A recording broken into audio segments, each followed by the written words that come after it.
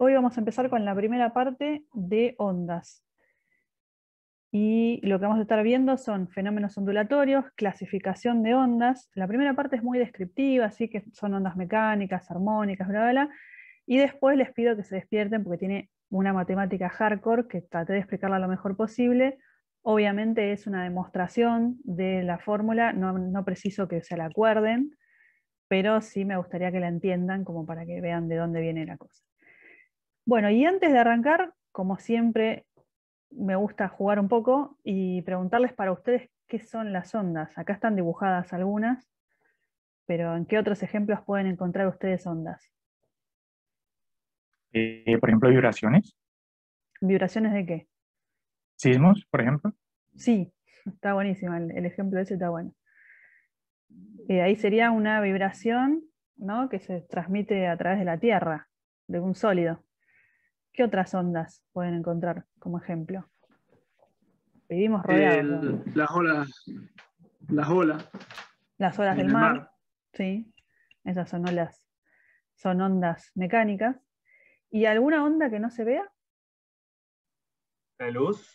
La luz, algunas luces se ven y otras no. ¿sí? Así Electromagnéticas. las ondas electromagnéticas. Bueno, ondas electromagnéticas lo van a estar viendo en física 2. Así que esta clase, presten atención. Porque después en física 2 dicen, ay, no me acuerdo nada de ondas. Y cuando llegan a ondas electromagnéticas es otra vez lo mismo, pero con ondas que no son de materia, ¿sí? que son de luz, bueno, eh, electromecánicas, eh, bueno, eléctricas y, ma- y magnéticas. Eh, bueno, así que empecemos ahora con lo que nos toca. Una onda. ¿Qué es una onda? Bueno, por ejemplo, una gota de agua que hace un pulso y esa onda se propaga a través de, un lago o de, un- balde de agua. Eh, aparece un, un frente de onda, algo que, un círculo que se va expandiendo, ¿sí? a medida que se va expandiendo va llegando a otros lados. Eso es una onda mecánica, es algo que necesita un medio para propagarse. Es una perturbación, en este caso, si son varias gotas, pueden ser una perturbación que se va alejando de la fuente y se va propagando por el espacio. Em, si esa onda es algo que persiste, o sea, es algo que ocurre y, y sigue, es- tiene algo que no es solamente una perturbación, sino que es un motorcito, algo que lo hace seguir armando esa onda, esa, esa, esa propagación. Las ondas en general las vamos a caracterizar con qué función les parece. Algo que sube que El baja. seno o el coseno. Claro, con funciones senoidales o cosenoidales. Definición posta son ondas, las ondas mecánicas son perturbaciones o señales que viajan de un punto a otro en un medio material. O sea, si hay un medio material, son mecánicas, ¿sí? Con una velocidad característica sin que exista un transporte neto de materia. Lo cual quiere decir que yo transporto esa onda, pero la materia lo que hizo fue vibrar en el lugar, pero no se fue con la onda. Hay otras ondas que transportan energía, y cantidad de movimiento, pero no materia. En este caso sucede eso, eh, energía y cantidad de movimiento, pero no materia. En las ondas electromagnéticas también. Bueno, entonces podemos clasificar las ondas según varios criterios, según su naturaleza, según cómo se propagan, en qué dirección, eh, según las dimensiones y según su periodicidad, cada cuánto se repiten. ¿Ustedes se acuerdan del movimiento armónico simple? Porque, digamos, movimiento armónico simple es algo que tiene todo que ver con esto, si bien no está directamente relacionado, también eh, funciona la descripción con una senoidal, ¿cierto?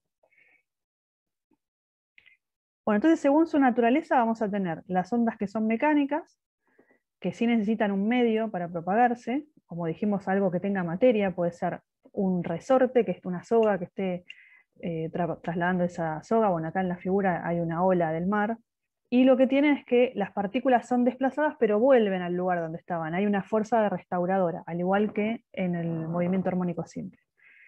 En las ondas electromagnéticas no necesitan un medio, no necesitan ninguna materia, se pueden propagar a través del vacío y son producidas por oscilaciones del campo eléctrico y magnético, que siempre van de la mano. Eso lo vamos a ver muy en profundidad en Física 2. En el, en el caso de la luz, ¿en qué tipo de ondas la, la metemos? ¿Cómo en qué tipos de ondas? Eh, ¿Serían en electromagnéticas o la luz qué onda?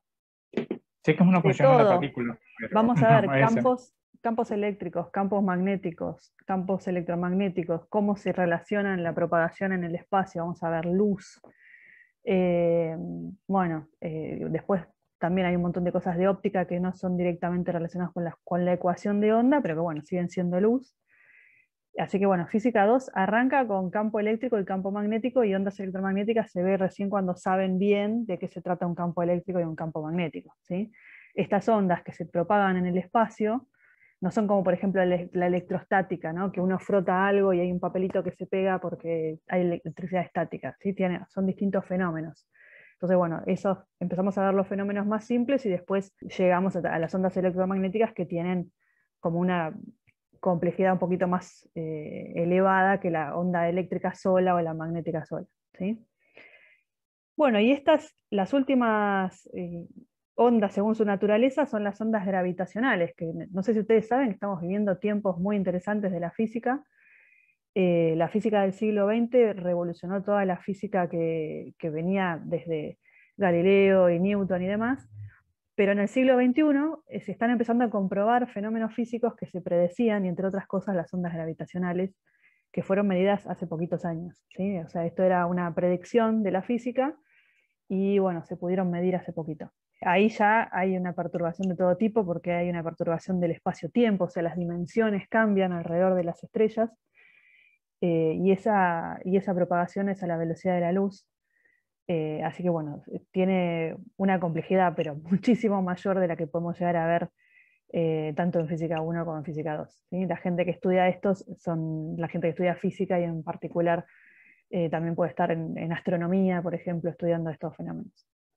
De hecho, eso de que usted habla, profe, yo vi un experimento con respecto a eso, que se usan dos haces de luz, son dos láseres que cuando se, hay una, una, una perturbación gravitatoria, vi que como eh, uno de los láseres tarda en llegar más que el otro. Como, claro, como este más o menos entendí algo así de ese experimento. Tal cual, los, los experimentos que se hacen con ondas gravitacionales ya requieren laboratorios especializados. ¿sí? Nosotros en física 1 podemos hacer, qué sé yo, agarramos un yo-yo y decimos que tal cosa, agarramos una masa. Ya cuando vamos a física 2 se va a complicar hacer experimentos y ni les cuento eh, la gente que está en, física más moderna, digamos, eh, requieren ya de instrumentos especializados, de, maneras de medir mucho más precisas, eh, que bueno, que no están, por supuesto, en ninguna de las casas de nosotros. Así que sí, lo más extraño de todo es la, perturbación espacio-tiempo, ¿no? Cómo las cosas, digamos, se pierde, por ejemplo, la simultaneidad de tiempo. Nosotros estamos acostumbrados que un segundo es un segundo en cualquier lado, y cuando hablamos de ondas gravitacionales, un segundo acá no va a ser lo mismo que un segundo en otro lado, o sea, la percepción de, la medición de los tiempos son diferentes y también del espacio. Así que es algo que va, es completamente contraintuitivo y bueno, tiene sus, sus dificultades para medirse todo esto. Yo siempre hablo de medir porque si bien hay mucho conocimiento teórico, el conocimiento técnico siempre en algún punto necesita que nosotros podamos medir y comprobarlo empíricamente para realmente estar asentado. Decir, bueno, sí, la naturaleza funciona de esta manera. Si no tenemos una medición para contrarrestar lo que estamos prediciendo, eh, es como, bueno, es una hermosa idea, pero no sabemos hasta dónde funciona. Tenemos que siempre medir los efectos de esa teoría o, o de alguna manera algo que esté relacionado como para comprobarlo o descartarla. Bueno, la clasificación según cómo se desplazan esas partículas, acá estamos hablando ya de ondas de materia, ¿sí? Pueden ser ondas longitudinales, las ondas longitudinales son como por ejemplo esta que está dibujada en el resortito, donde las espiras del resortito se contraen, ¿sí? se contraen y se expanden, y ahí se está propagando la onda. O transversales, que es cuando ustedes mueven para arriba y para abajo, por ejemplo, una soga. Eh, por ejemplo, las ondas eh, electromagnéticas son transversales y sin embargo la energía de las ondas electromagnéticas son longitudinales, la forma de onda. ¿sí? Eso lo van a ver en física 2. Nosotros acá vamos a estar viendo eh, ondas longitudinales que son de sonido, las de presión, y las ondas transversales que pueden ser, por ejemplo, las sogas o, o medios materiales. Y bueno, según su propagación, si se propagan y, se van, ¿sí? son las ondas viajeras, por ejemplo, la del mar. O sea, nosotros no sabemos qué perturbación hizo, pero llega hasta la costa. La, ola que llega hasta la costa vino del mar profundo. ¿sí? En algún momento esa onda llega hasta, hasta la costa y rompe la ola, ¿no es cierto? y las ondas estacionarias, que son las que no se propagan, las que yo puedo, por ejemplo, en una cuerda, ¿sí? que la cuerda vibra, va para arriba y para abajo, o hace esto, pero no se está propagando a lo largo de la, cuerda, o sea, termina y, y, se queda confinada en ese lugar. Lo mismo si es, por ejemplo, un instrumento de viento, ¿sí? una flauta, tienen ondas estacionarias. Y bueno, después según las dimensiones en que se propagan, si se propaga en una sola dirección, si se propaga en un plano bidimensional o si se propaga en el espacio, como por ejemplo un foquito de luz, ¿sí? se propaga en el espacio. Estas bidimensionales serían, por ejemplo, la de la gota en, la superficie de agua, que se, propaga en un círculo. Y después, bueno, si son periódicas o si no son periódicas. Las no periódicas en general no las llamamos ondas, las llamamos perturbaciones o pulsos, esto, esto obviamente a mí me salta la ingeniería electrónica, todo lo que sea un pulso, perturbación, generalmente se usa muchísimo en comunicaciones. Las comunicaciones se, montan arriba de ondas, pero lo que sucede arriba de las ondas, que son las señales, son pulsos o son perturbaciones eh, que se van conformando como, información. Eh, y bueno, las ondas periódicas son las que se repiten, son las que, digamos, tienen una amplitud, eh, un omega, todo lo que ya vimos del movimiento armónico simple, los parámetros, son fijos. La, definición de frente de onda, imagínense cuando una, onda se está propagando, es todo lo que sucede de la misma manera. Si, bien, se propaga en distintas direcciones, la velocidad con la que se propaga y la amplitud es la misma en todo el frente de onda. Entonces, bueno, podemos hablar de ondas esféricas, por ejemplo, el sonido o una, o una lamparita, o una onda plana, eh, la podemos pensar como que ya está o muy lejos de, eh, de su fuente, ¿sí? entonces ya la onda, en vez de, ser curva, ya esto se está propagando y el radio es tan grande que podemos pensar que es onda, que es una, que es una onda plana. ¿sí? Eh, también puede suceder que la, fuente de perturbación sea plana, que haya algo plano que esté haciendo esto y la onda se transmita de manera plana. Bueno, tenemos un montón de clasificaciones, pero ahora viene lo hardcore, ¿sí? la parte matemática. ¿Cómo describimos esto matemáticamente? Porque ustedes saben que siempre la matemática es lo que nos ayuda a describir lo físico. Entonces, lo primero que vamos a pensar es que tenemos una perturbación, imagínense una soga, una perturbación, alguien hace un, chicotazo, un, impulso, y esa perturbación viaja y mantiene su forma a lo largo del tiempo. Esto es una idealización, si ustedes hacen esto en una soga, por supuesto se muere en algún momento, pero imaginemos que esa soga está tensa, que la velocidad se mantiene constante, y yo puedo pensar que esa perturbación es una función no solamente del tiempo, sino del espacio. Se va propagando y tengo en el tiempo, va a estar en distintos lugares esa perturbación. Entonces, en el estante inicial voy a tener la perturbación, la persona que hace esto, por ejemplo, en la soga, y defino un sistema de referencia. Si yo ahora quiero ver esa perturbación, cómo fue viajando a través del eje, puedo pensar en un cambio de coordenadas según un sistema de referencia que viaje con ese pulso. Y si yo eh, reemplazo este cambio de coordenadas adentro de la función y de xt, me va, me va, a quedar una función que tiene que ver con la posición, pero que también tiene que ver con la velocidad de propagación. Este menos que aparece acá es por el sistema de cambio de coordenadas, ¿sí? por, el, cambio de coordenadas del sistema.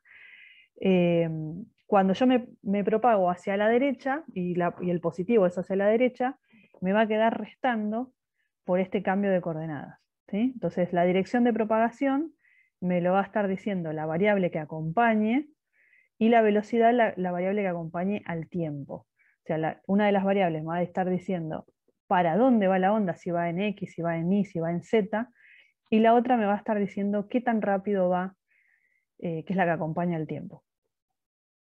Bueno, entonces vamos a ver si llegamos a la ecuación de onda. Tenemos entonces una función que es de X y de B, o el tiempo, digamos, y podemos pensar que esta variable, esto x menos o más b por t, es una variable z. Entonces, lo que vamos a tratar de hacer es eh, analizar esta función, a ver cómo la podemos armar y qué parámetros podemos sacar de esa función. Eh, hago la derivada en, en, x y me da 1, y hago la derivada en t y me da más menos b. ¿sí? O sea, esto es para cada una cada una de, las, de estas componentes de la variable z, puedo sacar derivadas parciales. Entonces, bueno, si yo quiero saber cómo se comporta esa función a lo largo de un eje x, voy a tener que hacer la derivada en x de esa función.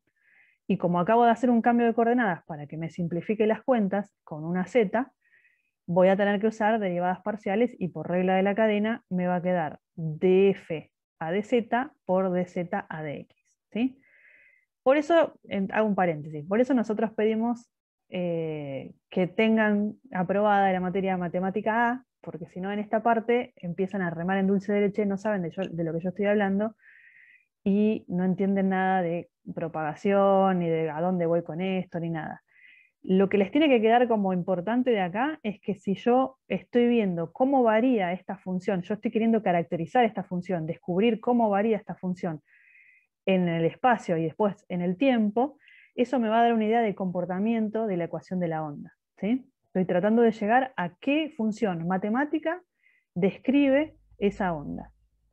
Bueno, entonces vuelvo a derivar esta, función i de xt, y bueno, hago regla de la cadena y propago y me queda la derivada segunda de f de z de z dos veces. ¿sí? Bueno, nuevamente derivamos en t. Tenemos esta función, volvemos a ver que es la, función, la variable z también depende de t, entonces nos va a quedar, ahora nos va a quedar afuera una velocidad acompañando la derivada en z. Si volvemos a derivar, nos va a quedar acompañando una velocidad al cuadrado. Y si ustedes se fijan, de los dos lados aparece una derivada al cuadrado de z, ¿sí? una derivada segunda en la variable z. Entonces, bueno, ahora, ¿qué vamos a tener que hacer? Vamos a tener que identificar las distintas variables en x, e identificar las distintas variables y derivadas en t, y vamos a juntar todo esto y vamos a ver qué nos surge de este análisis. Lo que vamos a tener es que si nosotros igualamos un lado y el otro de la ecuación, ¿sí? la derivada segunda de f de z, y la igualamos con la derivada segunda de f de z, lo único que nos va a quedar es una b que acá pasaría dividiendo. No sé si se dan cuenta de lo que estoy hablando. Imagínense que esta b, que está acá, yo la paso acá dividiendo. ¿sí? Entonces lo que voy a estar igualando es esta función de f de z con esta de f de z. Y lo que me queda es esto de este lado y esta, pero dividido b cuadrado, ¿sí? esta me va a quedar de este lado. Esta es la ecuación diferencial de ondas con velocidad v. Fíjense que lo interesante de esto es que queda de un lado la derivada pura en x y del otro lado queda la derivada pura en t. Y eso es una ventaja muy grande a la hora de resolver ecuaciones diferenciales. nosotros no vamos a trabajar con estas derivadas, esto es para que ustedes sepan de dónde sale. Lo que vamos a decir es que a partir de esta ecuación, nosotros sabemos que es una ecuación diferencial que ya sabemos cuál, qué solución, qué tipo de solución tiene. La solución general que va a tener es una constante por una función f de x menos bt, o sea, de z, sumado una constante con una función también de x más bt. Entonces, en este caso estamos indicando la dirección de, propagación positiva y en el otro caso de la dirección negativa. Estamos viendo si la onda se propaga para un lado o para el otro. Y para eso pongo todos los casos. Pongo cuando están las dos componentes, cuando está para un lado solo y cuando está para el otro. ¿Por qué? Porque estas C, estas constantes pueden llegar a ser cero y me quedo con una sola parte. Y la X lo que me está diciendo es qué dirección de propagación es. Si es en X va a estar así, si es en Y va a estar así, si está en algún eje torcido vamos a tener que hacer algún cambio de coordenadas o alguna cosa de esas divertidas. Bueno, si es en tres dimensiones, esto ya se complica un poquito más porque voy a tener que hacer ya eh, una derivada en tres dimensiones, ¿sí? así que bueno, se, se complica un poquito más, pero nosotros de nuevo vamos a estar usando en una dimensión y los resultados de esta ecuación. Entonces, bueno, si yo tengo esta, esta ecuación diferencial, lo que voy a estar analizando, por ejemplo, en este caso de la perturbación de la soga, es lo que veníamos analizando desde antes. Tenemos un pedacito de masa, un diferencial de X, que voy a tener dos tensiones. Cuando yo subo y bajo esa, para hacer esa perturbación, voy a tener una tensión de la soga porque la soga propaga tensión para los dos lados. Estas dos, eh, digamos, este ángulo que hace la, soga, estas diferencias de estos dos ángulos, podemos pensar que son lo suficientemente chiquititos como para aproximarlos con un seno. Acá se dan cuenta porque usé, porque el seno para la, para la tensión. Por ahí esto, no sé si, si queda claro.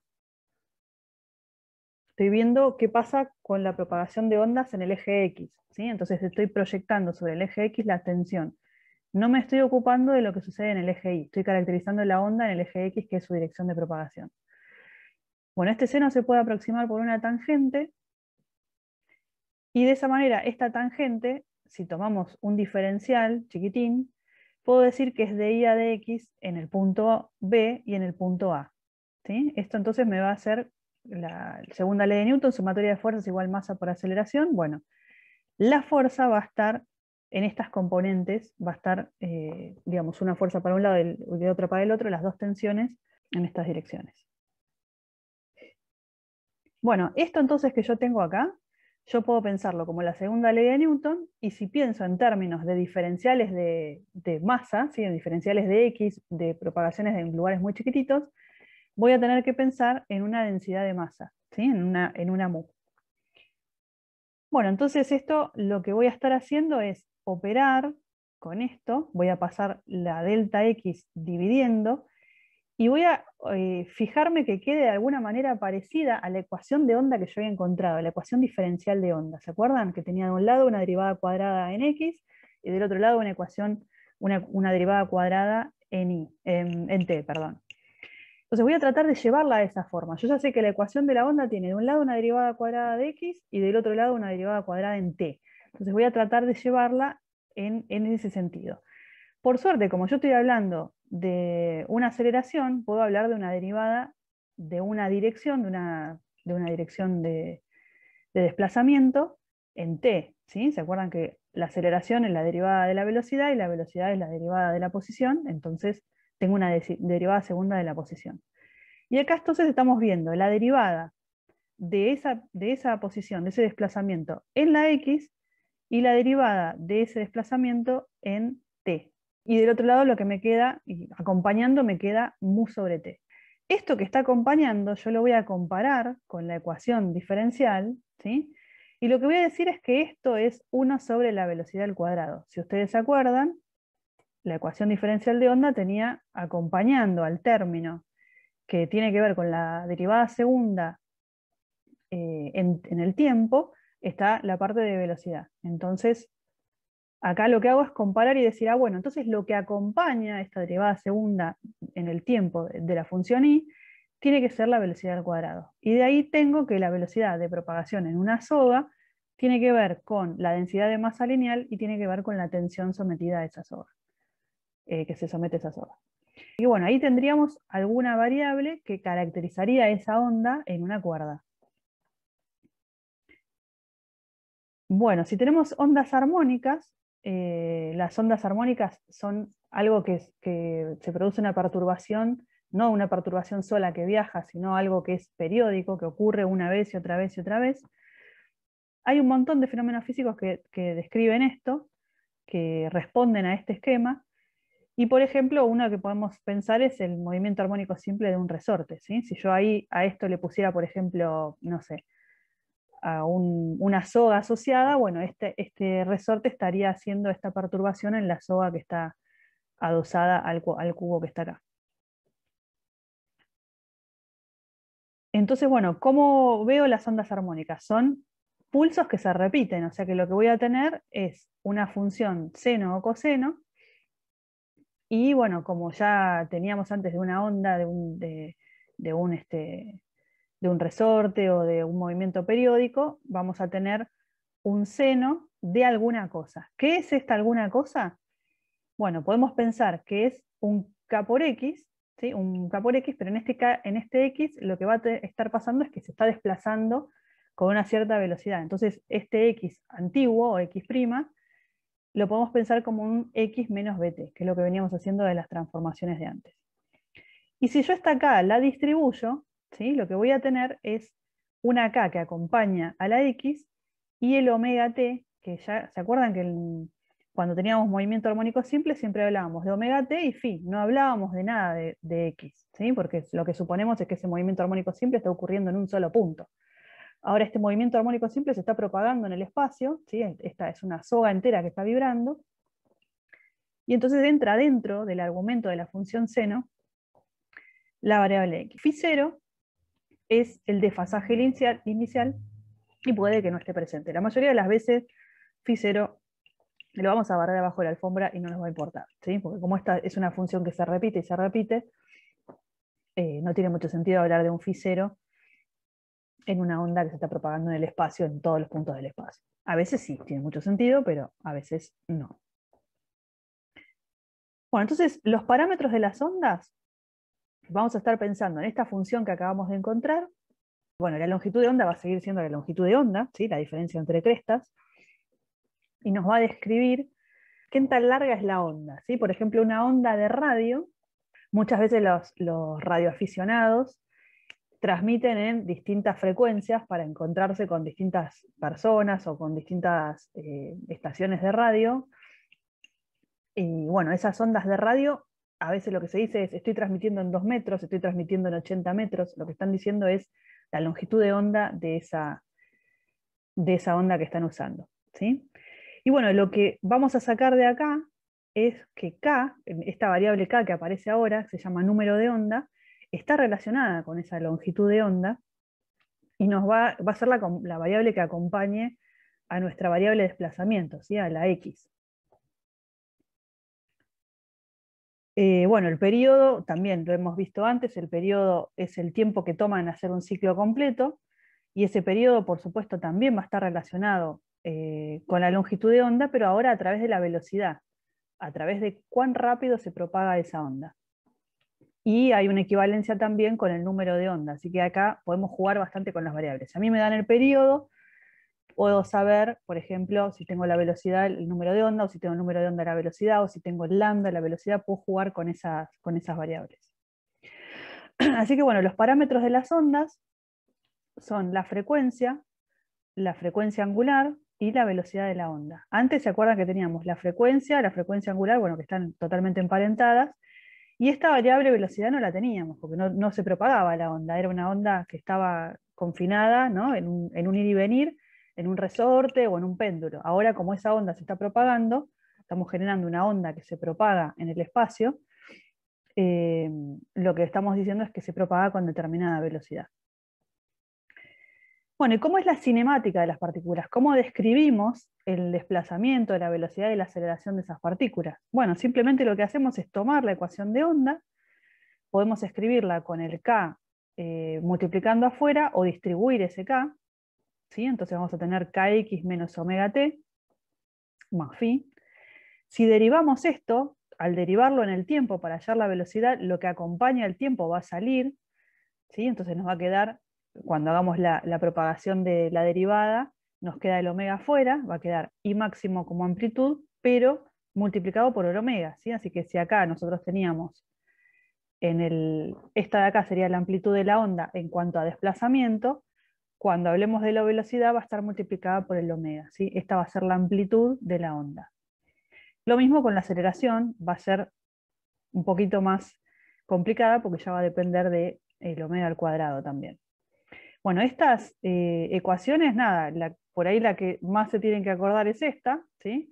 que nos está hablando tanto del desplazamiento como del tiempo, y con esas pueden sacar derivando las demás. ¿sí? No, no hace falta que se acuerden todo esto de memoria o algo, simplemente acordarse cómo es la función de la onda y a partir de ahí salen un montón de parámetros. Bueno, y acá hay un principio de superposición. O sea, ¿qué quiere decir esto? Que si yo tengo dos o más ondas, las puedo eh, superponer y ver qué sucede con eso. Si, si, es una interferencia constructiva, o sea, si se suman, si yo tengo dos ondas que van para el mismo lado y se suman, o si tengo una diferencia destructiva, o sea, que van para el distinto lado y se restan. Esto lo vamos a ver como una animación, pero quiero terminar de ver qué otras cositas hay. Bueno, el principio de superposición lo que nos va a decir es que si yo tengo dos ondas, vamos a usar identidades trigonométricas. Esto que está acá no es ondas, es una identidad trigonométrica, ¿sí? que lo que vamos a estar diciendo es que cuando tenemos una onda podemos pensar que esto es A y que esto es B, y podemos usar esta otra forma de, de escribir las ecuaciones de tal manera que nos quede más fácil para analizar. Esto ¿Por qué lo traigo acá? Porque hay un montón de ejercicios de la práctica que son con esto.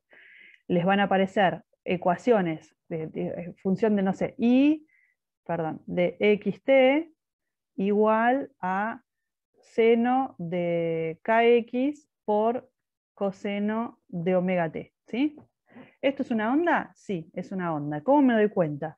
Y porque es una parte de este seno de A más B. Entonces, si yo sumo, resto, algo distintos este, artilugios matemáticos, puedo llegar a esta expresión original de la onda, o a esta más, por ejemplo, el seno de kx menos omega t. ¿sí? O sea, si yo sumo, si este es más y este es menos, si sumo estas dos partes me van a quedar esto. Este truco de sumar y restar identidades trigonométricas nos va a dar la pauta para decir qué dos ondas están superpuestas y con esas eh, hacemos un, lindo combo, digamos, y vemos cuáles eran las ondas originales de ese resultado que nos está dando. ¿Sí? Bueno, esto es más que nada práctica. Lo que van a estar usando, eh, la ecuación general de las ondas es anecdótica, si quieren ponerla en un cuadrito, maravilloso. Eh, no vamos a estar usando esta matemática, pero lo que sí vamos a estar usando es la velocidad de propagación de las ondas mecánicas, ¿sí? Qué forma tienen las ecuaciones de ondas armónicas y los parámetros de las ondas. Y por supuesto, lo que acabo de poner acá, que son las identidades trigonométricas para cuando tengamos ondas superpuestas. Bueno, les quiero mostrar ahora una animación para que vean a qué me refiero cuando digo ondas superpuestas. Voy a compartir ahora otra cosita. Estas, digamos, fíjense que sería una onda, ahí no, parece que hubiera dos, ¿no? Eh, yo voy a, tenemos una onda roja y una onda azul, ¿sí? Y yo le estoy cambiando la frecuencia a las dos ondas, a una de, a una de ellas, y por lo tanto lo que me queda es una suma de algo extraño, ¿sí? O sea, hay algo que es como si fuera una onda y algo que está modulando arriba, una cosa extraña. Bueno, estas, estas formas que aparecen, ustedes podrían tener la ecuación de esta onda, de la de abajo, y podrían quererse preguntar, bueno, ¿cuáles fueron las otras dos ondas que dieron como origen a esta? ¿sí? Entonces, bueno, si la interferencia es, constructiva, una de las cosas que, que mostramos, si tenemos dos ondas superpuestas que se suman, ¿sí? acá pareciera que hay una sola, fíjense que la amplitud se va al doble. Ahora, si estas dos están desfasadas, si tienen un angulito entre ellas, yo las voy desfasando, fíjense cómo va bajando la, resultante, que es esta violeta, va bajando hasta que cuando yo llego a que están completamente desfasadas, esto se hace cero. ¿Se ve por qué? O sea, yo estoy sumando la onda roja con la onda azul. Y en este caso, como cada vez que la onda roja sube, la, onda azul baja, al sumarse serán ceros. Si yo las desfaso un poquitito, ya me queda una resultante. Y si las, las pongo totalmente en fase, bueno, lo que me queda es una onda del doble de la amplitud. ¿sí? Eh, bueno, lo mismo si quiero, en vez de, uy, no me deja dejar la fase. Si quiero tocar ahora las frecuencias, bueno, me van a quedar diferentes sumas de las distintas ondas. ¿sí? Yo podría, esta onda rosa o violetita es la suma de las otras dos ondas de arriba.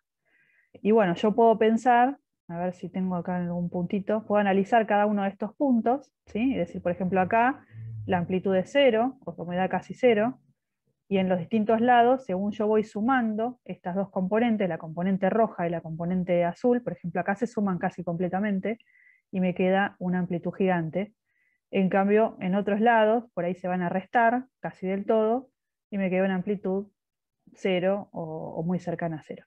Esto es para superposición de ondas.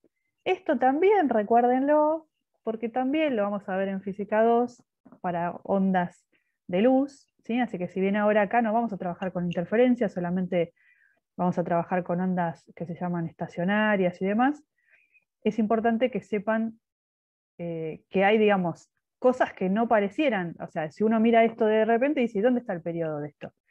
Porque podríamos tomar el periodo grande, el periodo de chica, ¿cuánto se repite esta forma de onda? ¿sí? Bueno, esto eh, lo podemos hacer mediante el análisis de matemático de las funciones que estuvimos viendo recién. No se asusten, esto tiene mucha matemática, pero por suerte queda ahí, ¿sí? O sea, lo que vimos de análisis matemático es nada más que para que ustedes entiendan de dónde sale, pero de ninguna manera yo les voy a poner a demostrar la derivada segunda de nada, ¿sí? es simplemente la demostración de eso.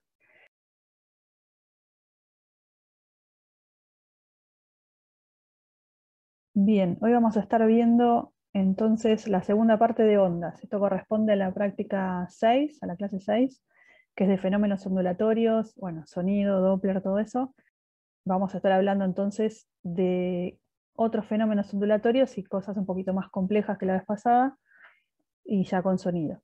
Superposición de ondas, ondas sonoras, características del sonido, interferencias de ondas sonoras, ondas estacionarias en cuerdas y tubos.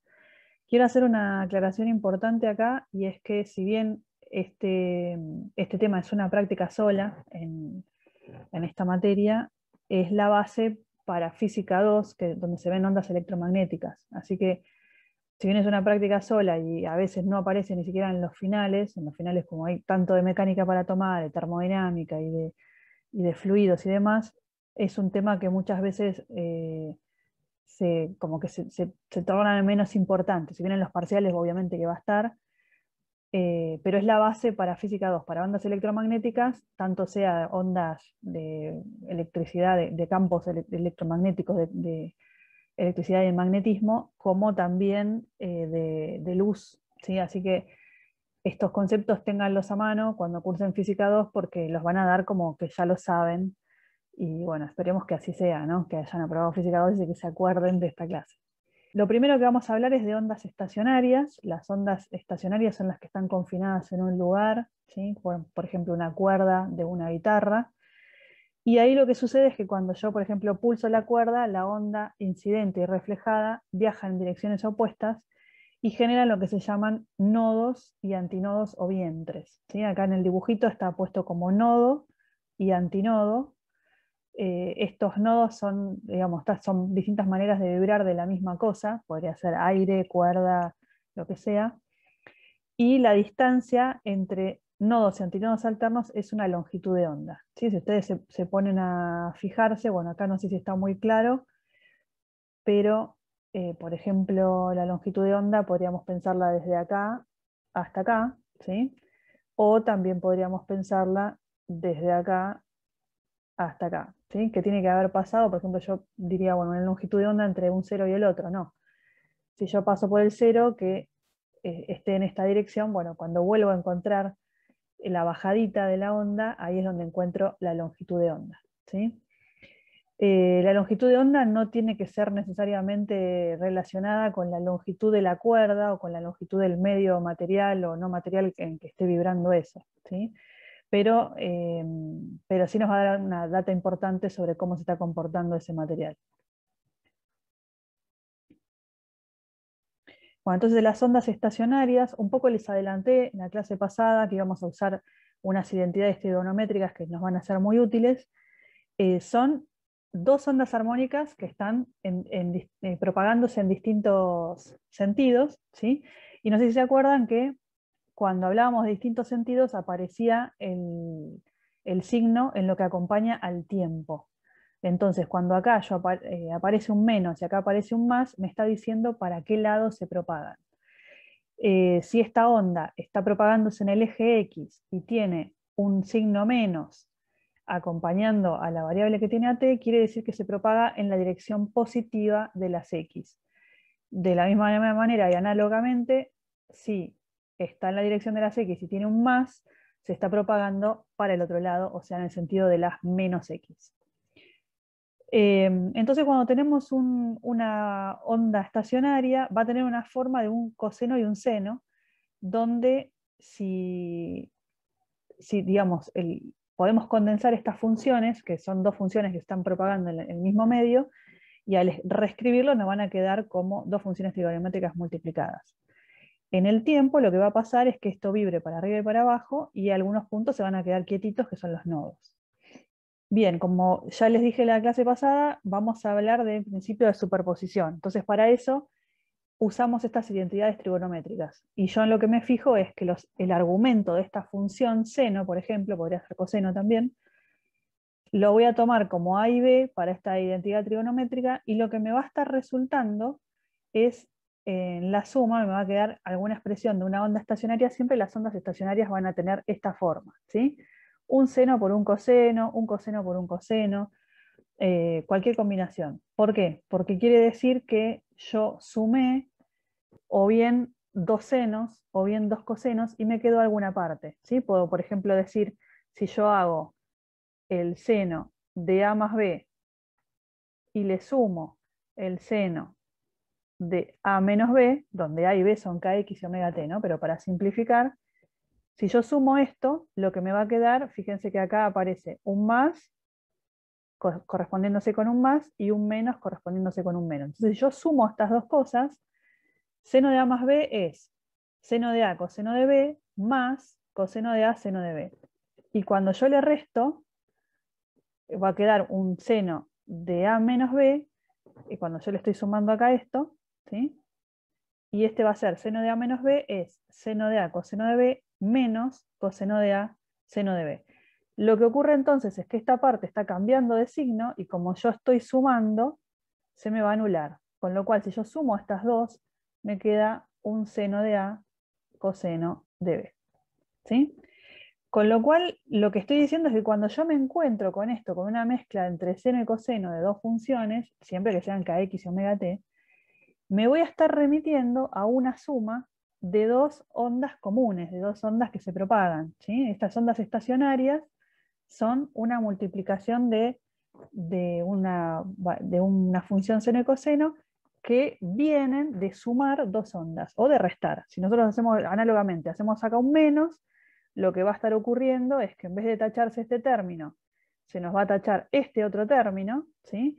Y entonces si yo hago seno de A más B menos seno de A menos B, lo que me va a quedar es coseno de B seno de B. Análogamente, si lo que yo tengo es dos, dos este, funciones, dos ondas que se caracterizan con un coseno, bueno, cuando las sume o cuando las resta me va a quedar una de estas dos fórmulas que aparecen ahí. Así que ya saben, si encuentran una con mezcladas, es una onda estacionaria. Bueno, ¿y por qué nos interesan tanto las ondas estacionarias? Bueno, en primer lugar, lo que podemos decir es que no es una onda viajera, no es una onda que se propague y se va, como es cuando yo tiro una, gotita en, un balde y la onda va propagándose, sino que podemos pensar que ese balde tiene un borde y que esa onda que fue está volviendo, y está yendo y volviendo y está confinada en un medio. Así que no es que se desplace, sino que se generan perturbaciones todo el tiempo en el mismo lugar. Existen puntos donde la elongación es siempre cero, que son los nodos, y puntos donde la elongación es máxima, que son los antinodos o vientres. Em, entonces, bueno, para los nodos, por ejemplo, vamos a tomar este ejemplo, este es un ejemplo, puede ser cualquier otra de las combinaciones, coseno con seno, seno con seno, coseno con coseno. Para este ejemplo, un nodo estaría en todos los, los senos de kx igual a cero. ¿sí? ¿Por qué? Porque cuando el seno de kx es igual a cero, todo esto se hace cero, no importa el valor que tenga el coseno, entonces eh, lo que me va a pasar es que estoy en un lugar donde, donde la amplitud es cero siempre. En, ese punto, donde el seno de kx se hace cero, estoy en un nodo. Por el contrario, si estoy en un punto donde el seno de kx es siempre 1, voy a estar en un antinodo o vientre. Y operando con esta función, con esta mm, forma de onda, con esta este, forma que tiene la onda estacionaria, puedo encontrar dónde están estos antinodos y dónde están los nodos para descubrir, para caracterizar la onda. Entonces, bueno, supongamos que tenemos posibles longitudes de onda para ondas estacionarias. Yo tengo una cuerda, imagínense una guitarra, lo que sea, y yo la pulso. Entonces esa, cuerda puede vibrar en un modo fundamental, que es cuando los dos extremos están fijos, ¿sí? y se hace esto. Ese modo fundamental tiene la mitad de la longitud de onda de lo que estoy viendo. También podría vibrar de otra manera, podría estar con los mismos extremos fijos, pero haciendo una vibración que donde uno sube el otro baja. ¿sí? Eh, en donde están mis nudillos serían los, los, vientres o los antinodos, y donde está la punta de mis dedos sería un nodo. Y por supuesto en las mis muñecas, bueno, no me sale moverme tan este, fielmente a la onda, pero los extremos también están en cero. Y todos estos modos de vibración se llaman armónicos. Entonces, cuando ustedes les dicen en armónico 3, bueno, lo que está sucediendo es que tienen eh, la, distribución de nodos y antinodos, es esta que figura en la, en, diapo. Bueno, las posibles frecuencias para esto son las que se corresponden con la velocidad sobre el lambda. O sea, una vez que yo tengo la longitud de onda, ah, puedo sacar por medio de la velocidad de propagación de esa onda qué frecuencia tiene la onda. ¿Y esta velocidad de qué, de qué les parece que va a depender? Algo vimos la clase pasada, pero por ahí se pueden llegar a avivar. ¿Es lo mismo, por ejemplo, una onda de sonido que se propaga en el aire o que se propaga en el agua? Eh, no, no va a ser lo mismo. ¿Y en qué cambia? ¿El medio en el que se transporta? Sí, ¿y qué me pasa con eso? Ustedes acuérdense Por que, por ejemplo, la velocidad también va a ser distinta. Exactamente, ¿sí? Por ejemplo, si nosotros estamos hablando de ondas de sonido, las ondas de sonido tienen que ver con vibraciones de moléculas. Entonces, si yo tengo esas moléculas en un gas, van a estar súper expandidas, pero si yo lo tengo en un metal, van a estar juntitas y el sonido se va a transmitir muchísimo más veloz que en el aire. Entonces, la, la longitud de onda eh, y la velocidad, o sea, la velocidad va a ser, la de propagación va a ser totalmente diferente y eso va a afectar a la frecuencia que yo puedo, que puedo tener en esa onda. Entonces, ¿cómo puedo ver esas frecuencias características? Eh, habíamos visto en la clase pasada que para una cuerda bajo tensión, ¿sí? habíamos hecho el análisis para, ¿se acuerdan? El diferencial de soga y la aproximación de los ángulos y bla, bla, bla, y que hicimos con la ecuación de onda, dedujimos que lo que estaba acompañando a una de la parte de la ecuación diferencial era la velocidad. Entonces, de la velocidad sacábamos la relación entre tensión y densidad de masa, o bien tensión por longitud sobre masa. Entonces, cuando en una cuerda tenés una onda, en este caso, esto, este dispositivo que está acá no es, ah, me inventé un problema de física para el parcial. Esto es cómo se hacen las cuerdas de guitarra, por ejemplo. Les ponen un peso y lo que miden acá es cómo esa cuerda vibra, en qué frecuencia está vibrando, porque si yo te estoy vendiendo una cuerda, tengo que saber que esa cuerda va a ir en el, primer lugar de la guitarra, en el segundo, en el tercero, donde sea, y tengo que ca- caracterizar esa onda según su frecuencia. Eh, entonces, bueno, las frecuencias características que voy a tener son la frecuencia fundamental, que está dada por la física de la cuerda, si es de acero, si es de eh, plástico, de lo que sea, eh, y eso va a tener que ver con cuánta tensión soporta. La tensión es esta, esta pesita que está acá, que lo transmite la tensión por la polea, y con la masa de la cuerda, si es una cuerda gruesa, si es una cuerda finita, va a haber distintas velocidades y por lo tanto distintas frecuencias de respuesta de, esa cuerda. Bueno, ¿y qué hacemos con el sonido? Porque esto tiene todo que ver con el sonido, y estamos hablando de cuerdas, pero podríamos hablar de otra cosa. El sonido es una onda mecánica longitudinal, ¿sí? Y como es medio difícil, porque uno puede hacer con las manos la cuerda, pero podemos pensar que este sonido lo, podemos ver de otra manera. Yo tengo una animación para mostrarles. Yo ahí empujé con la mano y lo que está graficando son los puntitos rojos, ¿sí? Como suben y bajan. Voy a poner de vuelta.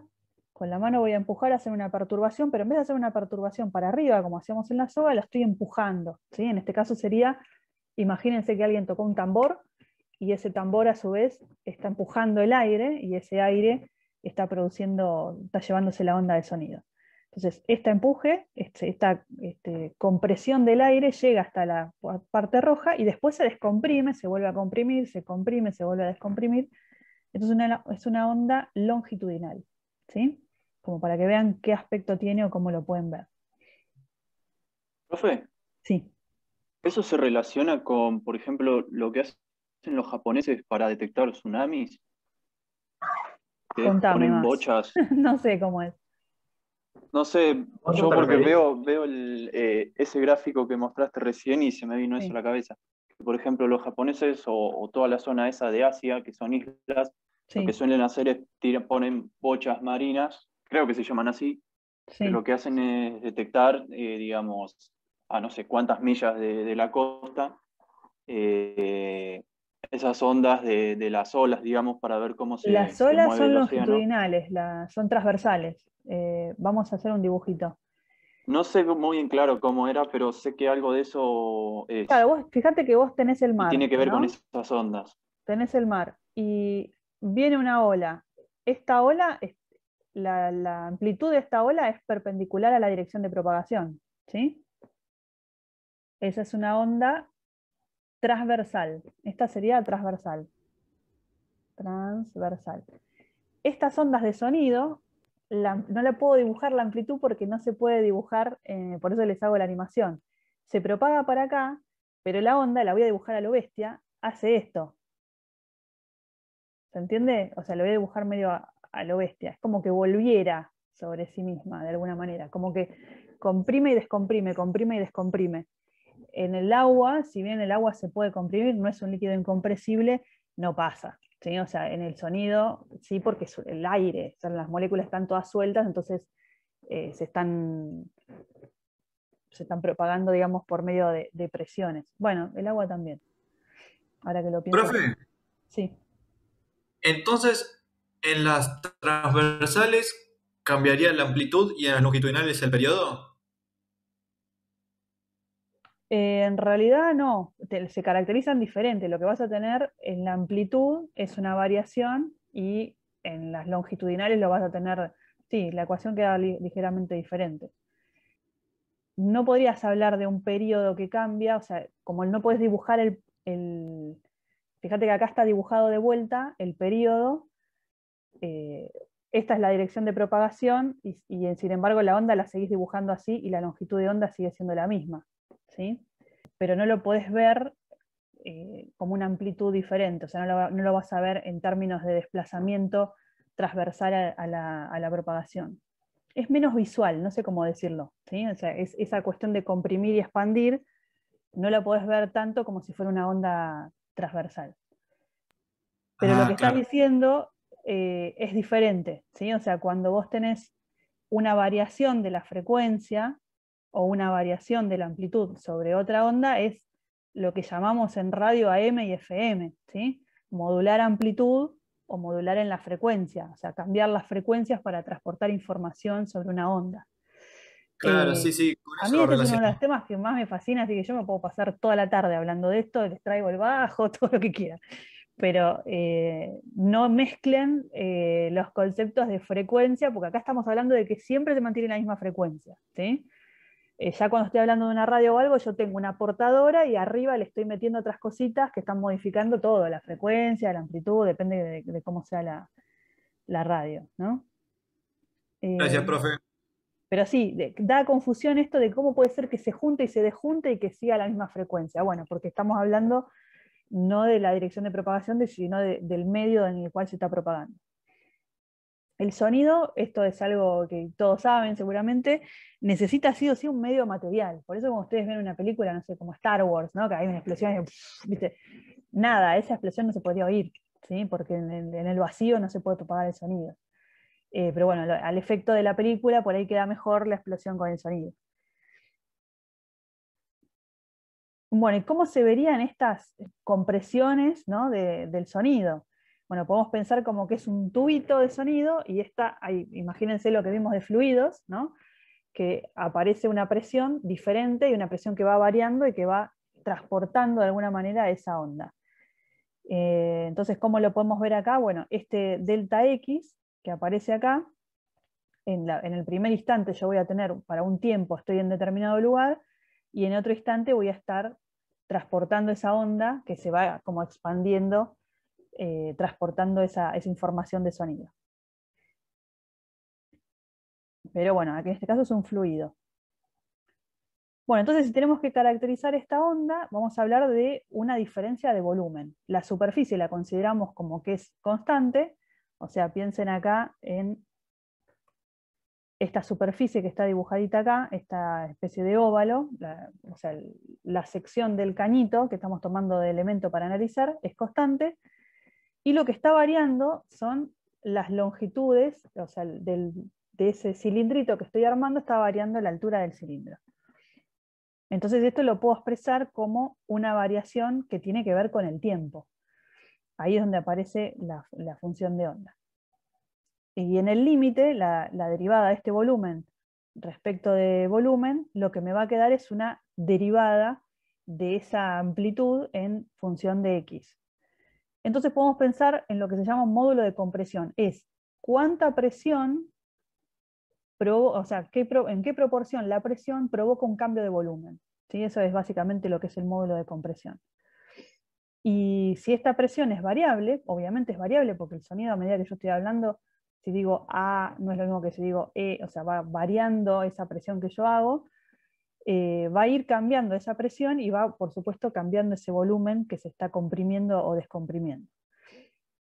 Entonces la presión la puedo escribir en función del módulo de compresión con esta derivada de I respecto de E de XT, y de ahí puedo pensar que si esta I de XT es una función de onda, o sea, tiene una I máximo y un coseno de K que es menos omega t, entonces puedo expresar esa presión de otra manera. Meto esa definición adentro de la, la fórmula de presión.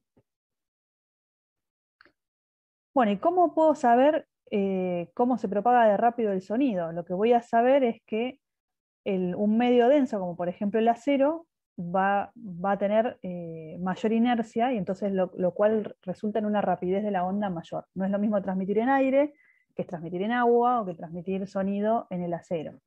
En el agua se propaga mucho más rápido que en el aire y en el acero eh, también. Si ustedes escuchan alguna vez si se si tienen la oportunidad de, estar en una vía sin que venga el tren, el sonido del tren se escucha a muchos kilómetros de distancia porque además de que se propaga rápido, esa propagación no tiene demasiada atenuación dentro del metal, así que el tren se escucha desde lejísimo. ¿sí? O sea, no sé, un, silbato del tren cuando hace ¡pum! y está llegando, por ahí lo escuchan a 15 cuadras, pero el sonido del tren sobre, los rieles se propaga muchísimo más y más rápido también. Bueno, entonces la velocidad también va a depender, obviamente, del medio material donde estoy. Entonces va a depender si es un fluido, si es un sólido o si es un sólido extendido, algo que está a lo largo de, mucho, de, mucha distancia. Eh, para un fluido vamos a estar hablando entonces del módulo de compresión y de la densidad, pero para un sólido no podemos hablar de módulo de compresión porque no va a haber una, diferencia muy grande entre las moléculas. Entonces ahí es donde entra a jugar el módulo de Young, que fue lo que vimos cuando vimos elasticidad. No sé si se acuerdan del módulo de Young, que los sólidos se pueden estirar de alguna manera ¿sí? hasta un cierto punto y después se rompen. Bueno, ese, ese pequeño estiramiento es lo que le permite al sólido transmitir ondas de sonido. Y bueno, también en el aire ocurren, eh, cuando yo quiero hablar de, por ejemplo, de una flauta o algo por el estilo, eh, el aire que está encerrado dentro de las cavidades de la flauta, o por ejemplo de un órgano que tenga un montón de tubos, eh, ese aire que va a estar vibrando va a generar también nodos y antinodos. Acá cuando ustedes vean A y N son nodos y antinodos. Entonces en un tubo abierto no voy a tener nada que aprisione el aire, en cambio, en un tubo cerrado le estoy obligando al aire que está contra el borde que no puede moverse. Entonces, este sí o sí tiene que ser un nodo. Todo lo que ocurra después puede variar, pero como que tiene que ser una función continua, no puede variar desde cero hasta de repente aparecer algo. Entonces, esta onda que aparece acá, sí o sí va a responder a algo que arranque en cero. Y ahora les voy a hacer una pregunta un poco matemática, si se quiere. Si yo pusiera un eje acá, y si yo pusiera un eje acá, ¿Qué función caracteriza el tubo abierto y qué función caracteriza el tubo cerrado? Un seno, de algo y, un coseno de algo. Sí, pero ¿cuál es cuál? Porque yo soy así de jodida, ¿viste? No voy a preguntar para... Y el coseno va a ser... el tubo abierto, el coseno. Y el seno, la del tubo cerrado. ¿Y por qué? Porque en el tubo abierto la, está por arriba y por abajo, por decirlo de manera, mientras que el tubo cerrado está justo en el medio, que lo podríamos tomar como que el cero. Ahí lo que está diciendo Fede me parece que tiene más, más sentido. Arranca, con una amplitud. Arranca, claro, el coseno arranca del 1, ¿sí? arranca de la máxima amplitud. Y el seno, bueno, yo le puse el eje abajo, pero el seno arranca de un 0. ¿sí? Entonces se corresponden con la función, o sea, el seno de 0 es 0. Y bueno, acá el seno de 0 tiene que ser 0 la amplitud. ¿sí? Eh, entonces, cada una de estas funciones se corresponden con una realidad física. Si es este, un tubo cerrado o un tubo abierto, me está condicionando el resultado y por lo tanto me está condicionando la función que la describe. Bueno, de la misma manera que hicimos para las cuerdas, para un tubo abierto podemos hablar de eh, la fundamental, en un tubo abierto, como dijimos, los dos, los dos extremos están a la presión atmosférica, así que pueden obviamente moverse como quiera el aire. Y para generar una, una, onda, bueno, en algún momento tiene que hacer un nodo, entonces lo hace en el medio. O otras variantes son todos los armónicos que le siguen, que por supuesto acá están puestos cuatro, pero puede haber 78 armónicos, y si ustedes logran hacer una flauta que suena a 78 armónicos, los aplaudo. Pero existe, se puede hacer. Eh, posibles frecuencias para tubo abierto, o sea, de la misma manera que acá sacamos las longitudes de onda, análogamente sacamos las frecuencias para tubo abierto. Y para tubo cerrado lo mismo. Acá, como el tubo está cerrado, no me permite que el aire vibre, así que tengo un nodo, sí o sí, en todos los extremos de este tubo cerrado voy a tener un nodo, y del otro lado voy a tener un antinodo. O sea que acá lo que voy a tener, fíjense que es solamente un cuarto de onda, de la onda, o sea, si yo tengo que dibujar esta onda completa sería así, ¿sí? Fíjense que aparece esto, bueno, lo dibujé medio fuera de escala, pasa por el cero de vuelta acá, pasa por un máximo de vuelta acá, y cierra acá. ¿sí? La longitud de onda completa es todo esto. Y en el tubito abierto, el tubito cerrado por un extremo, voy a tener solamente un cuarto de esa longitud de onda. Ahora, cuando ya me voy a otros armónicos, voy a poder encontrar otras, eh, otras longitudes de onda diferentes. Eh, lo mismo para las frecuencias, análogamente hago una cuenta y saco la frecuencia. Cuanto más menos longitud de onda tengo, por supuesto tengo más longitud, más este, frecuencia. Cuanto menos longitud de onda, más frecuencia. Así que acá fíjense que aparecen un montón de nodos y antinodos ya cuando voy a muchos armónicos. Bueno, y hablemos un poquito de acústica, porque todo esto del sonido da lugar a entender un poco cómo es que escuchamos, cómo son los sonidos, qué significa escuchar. Entonces, esta rama de la acústica no solamente tiene que ver con equipos de sonido y con cómo voy a, armar un parlante, sino, por ejemplo, con el diseño de anfiteatros, con, qué sé yo, si yo quiero hacer que un lugar, una radio, por ejemplo, una emisora de radio, donde está hablando el periodista, que tiene el micrófono, la cabina donde le ponen ahí en aire, qué sé yo qué, no puede haber ecos alrededor, si el tipo está hablando y que haya un eco alrededor y que el eco lo tome el micrófono. Entonces lo que voy a tratar de hacer es que ese sonido quede solamente confinado a lo que está hablando y que llegue al micrófono y que todas las ondas que podrían rebotar se las coma la pared. ¿sí? Bueno, hay toda una rama de, la ciencia y obviamente de la ingeniería que se dedica a la acústica y que hay un montón de aplicaciones también tecnológicas, incluso eh, bélicas, que tienen que ver con eh, todos los, los, sonidos, los infrasonidos, los ultrasonidos, medicina también, por supuesto, que aparecen en, digamos, que tienen un montón de aplicaciones tecnológicas.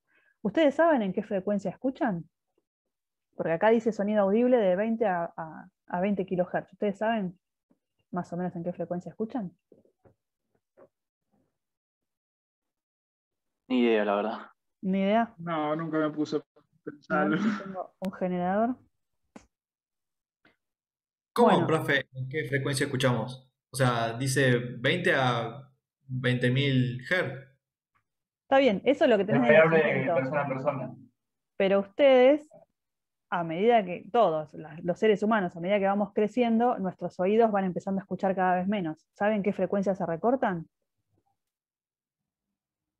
los agudos. Los agudos, principalmente los agudos. ¿sí?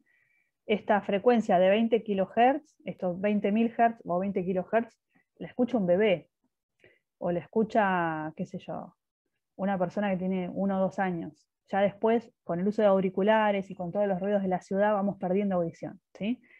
Bueno, yo tengo en mi, mi aplicación de cabecera para dar clase, que es el Sensor Suite, tiene un generador de tono. Yo los invito acá donde dice frecuencia, si se quieren instalar la aplicación, a que pongan el play no se va a escuchar, por supuesto, en la grabación, pero que pongan el play y vayan subiendo la frecuencia.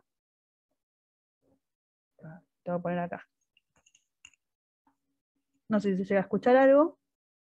Profe, también hay videos en YouTube que va subiendo la frecuencia o va bajando. ¿Se llega a escuchar algo? Sí, ahí se escucha. Bueno, esos son más o menos 6500 Hz. Sí, hay videos, hay videos para hacer test, así que si lo quieren hacer, eh, bienvenidos sean, se van a enterar de su rango de audición. Y este yo no lo escucho, por ejemplo. Ya en 15 kHz yo no escucho nada. Así que eh, son muy malas, muy malas noticias. No, no, yo por lo menos no escucho. Bueno, aparte la respuesta de este micrófono, no sé hasta qué frecuencia llega, ¿no? Pero hagan la prueba de con esos videos ver hasta dónde escuchan. yo he visto los videos, aparece la cantidad de hertz y bueno, va aumentando a ver este, a cuánto llega. Y bueno, yo me acuerdo que por ahí si lo pones en un parlante bueno, o sea que realmente reproduce todas esas, esas frecuencias, llega un momento que decís, no, la verdad que no, si te digo, te miento. Cuando te das cuenta cuando lo pones play y pones stop y no te cambia nada, ¿no? Porque por ahí cuando pones play, play hay algo que me molesta, bueno, algo estás escuchando. Pero cuando pones play y pones stop y no te cambia nada, es porque no lo estás escuchando, ¿sí? Eh, en el teléfono, en los teléfonos que nosotros, cualquier teléfono, los rangos de audición están puestos entre 50 y 4 kHz, ¿sí? porque la mayoría de la voz audible va hasta ese rango de frecuencias. Sin embargo, las, las, personas nos diferenciamos por nuestro tono de voz y yo puedo atender un teléfono y decir, ah, este es fulanito por el tono de voz, ¿sí? porque identificamos las frecuencias que tiene la voz y cómo es la emisión de la voz. Yo encontré la explicación de por qué nos confundían a mi hermana y a mí cuando hablábamos por teléfono, siendo que la voz nuestra no es tan parecida. Pero seguramente el rango de frecuencias en la cual las dos voces es diferente son las frecuencias en las que recorta el teléfono. ¿sí? Entonces, si por ejemplo la, voz de mi hermana y la mía nos cambia, no sé, en los 16 kHz en los 12 o en los 10 y el teléfono te está transmitiendo hasta 4 kHz, todas las, diferencias que tienen nuestras voces se recortan ahí.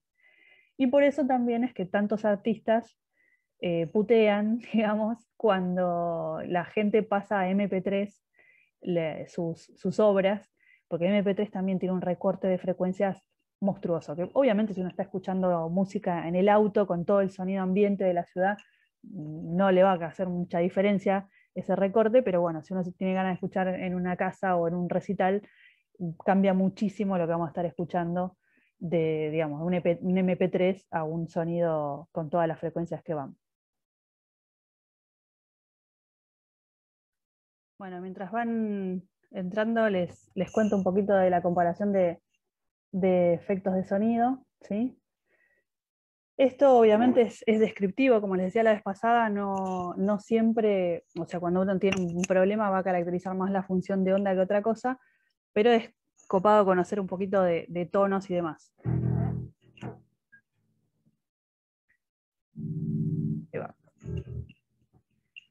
Eh, bueno, en lo que se refiere al tono, ¿sí? Lo que cuando uno habla del tono, está hablando de la frecuencia de sonido, ¿sí? Entonces, si yo estoy pulsando una cuerda, que en este caso es el la del bajo, ¿sí? Y si yo ahora pulso la misma cuerda, pero la pulso acá, ¿qué estoy haciendo con esto?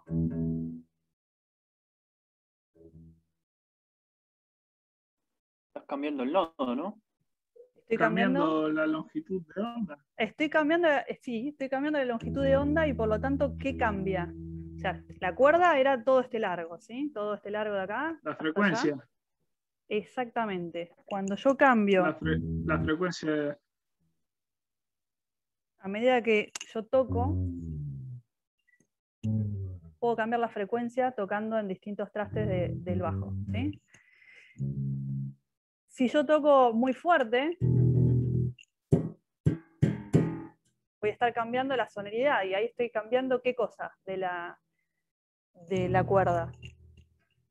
Está dicho ahí, pero... La amplitud de la onda. La amplitud, exactamente. Y si yo hablo de la calidad o de la forma de onda, ¿qué puedo estar cambiando dentro de esto?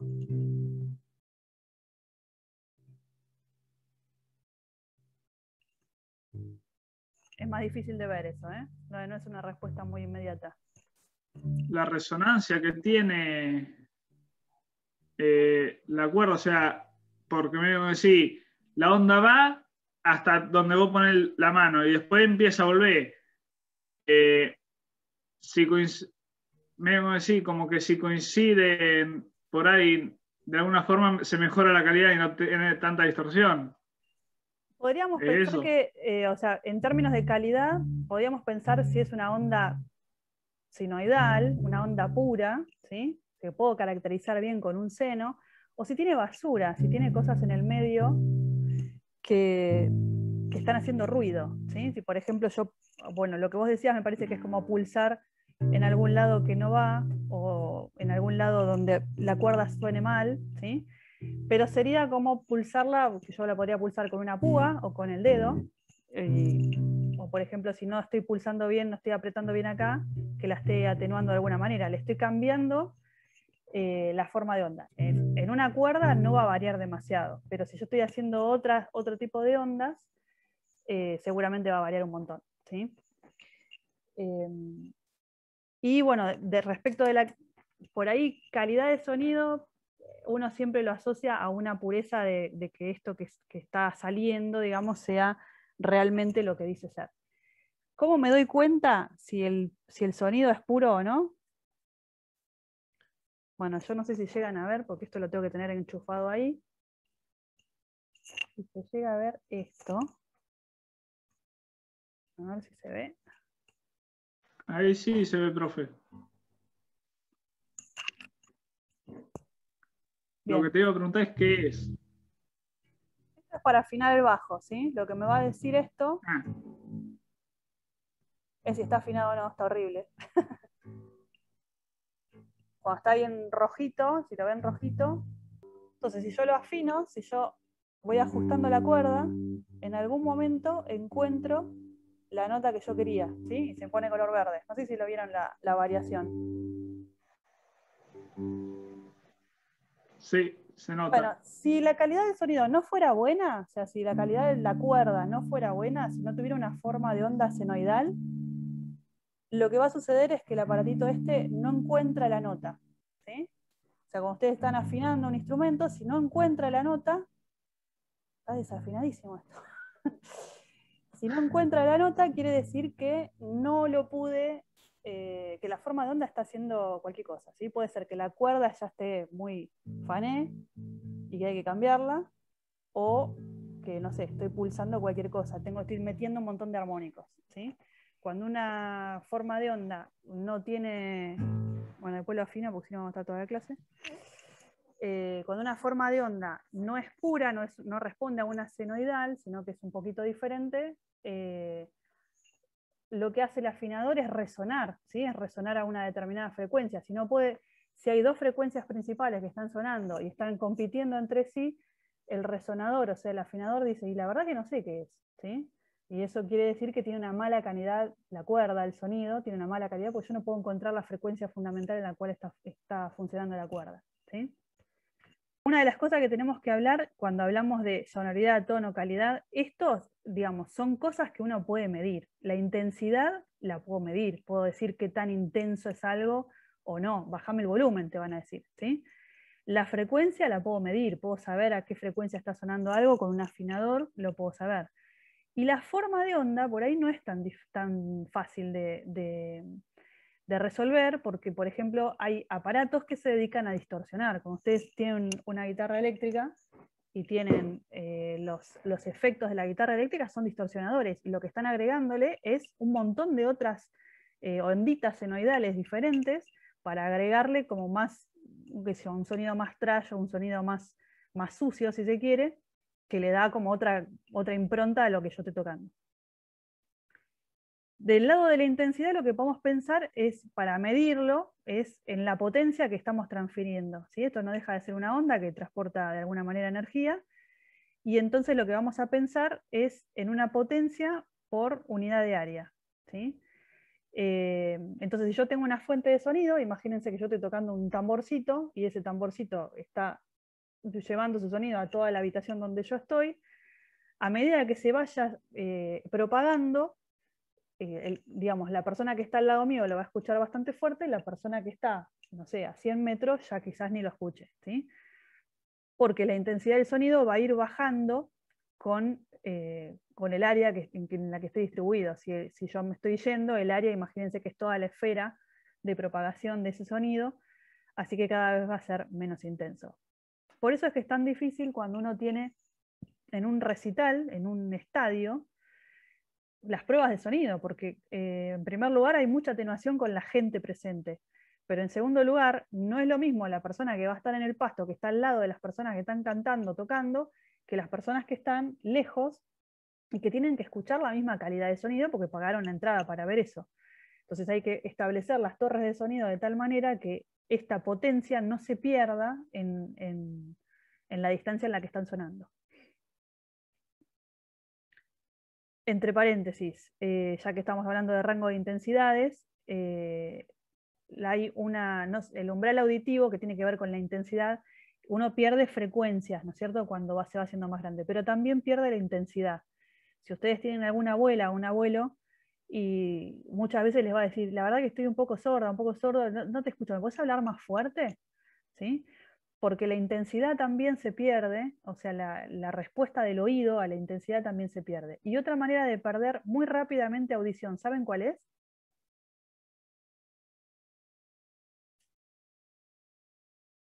¿Escuchando cosas fuertes? Esto. Tener todo esto, esto todo el día, es una muy buena fuente para perder eh, eh, audición. ¿Sí? O sea, si ustedes, por ejemplo, estudian y todo el tiempo están con los auriculares para que no les molesten y qué yo qué, bueno, es muy poco recomendable eso. Estoy en el horno entonces yo. Sí. o si lo escuchan, escúchenlo bajito, ¿sí? porque se están perjudicando hay algunas células que se vuelven a regenerar y otras no. Entonces, este, eh, si ustedes están expuestos, por ejemplo, una persona que vive al lado de un aeropuerto, seguramente va a perder un rango de audición muy fuerte, ¿sí? porque el, avión cuando llega o cuando se va, y las turbinas hacen un sonido infernal, eh, que obviamente si estás al lado de la turbina llega al umbral de dolor, al, umbral de donde el, tímpano ya no se puede mover y te duele. ¿sí? Y las personas que trabajan, como por ejemplo estas máquinas de romper piedra, eh, los rotopercutores y demás, eh, tienen que tener, si ustedes se fijan, todas las, fábricas tienen no solamente el casco por si hay accidente que se caiga algo, sino eh, las orejeras. ¿sí? O sea, todo el, equipo de seguridad que es obligatorio en fábricas es justamente para no perder audición.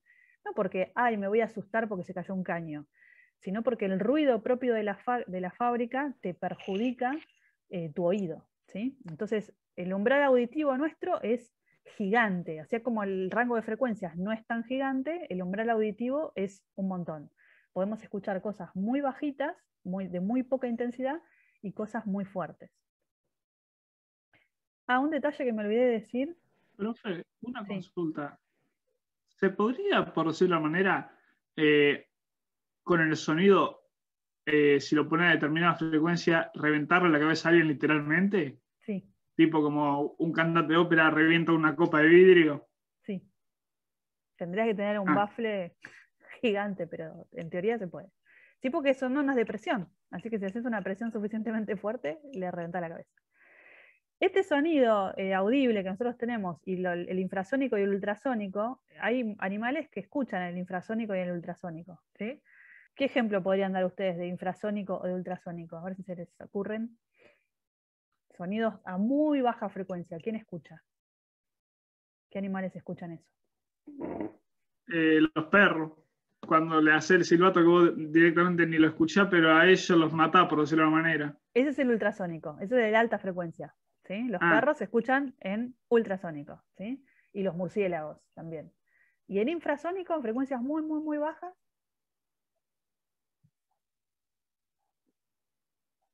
Los elefantes. Sí, los elefantes y las ballenas. ¿sí? Se comunican por sonidos que nosotros no podemos escuchar y que son de muy baja frecuencia. Los leones también. Cuando el león hace su rugido, que se escucha a 50 kilómetros, gran parte de ese sonido es de, en, frecuencias muy, pero muy bajas que se transmiten muy bien en el ras de la Tierra. Profe, una consulta. Mm. Eh, la menor frecuencia, mayor, mayor intensidad de sonido, me voy a decir como que más fuerte es el sonido. No, mayor frecuencia, eh, perdón, menor frecuencia, mayor longitud de onda. ¿Sí? La intensidad es otro parámetro. La intensidad es ah. esto, esto que estamos diciendo, si se escucha bajito, si se escucha fuerte.